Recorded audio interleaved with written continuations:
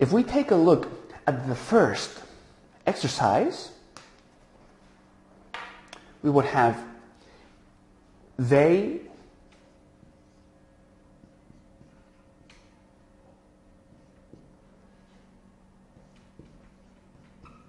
play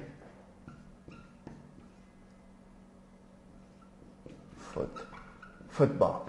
Okay? They play football. So, now we have to create, we have to build this sentence using a present perfect simple structure. So how would we do this?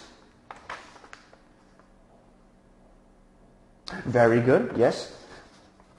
They have played football. Exactly. They have